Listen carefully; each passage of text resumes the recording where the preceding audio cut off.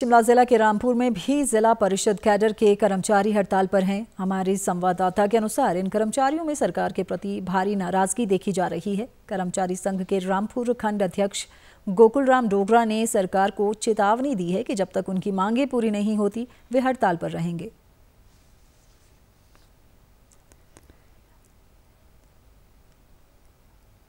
प्रदेश में लगभग सैंतालीस जिला परिषद कैडर के कर्मचारी कलम छोड़ो हड़ताल पर, अपने अपने ब्लॉक स्तर पर बैठे हैं। एक ही मांग है कि जिला परिषद के अंडर के जितने भी समस्त कर्मचारी है, ग्रामीण ग्रामीण विकास विभाग या पंचायती राज विभाग में भी लेके जाए।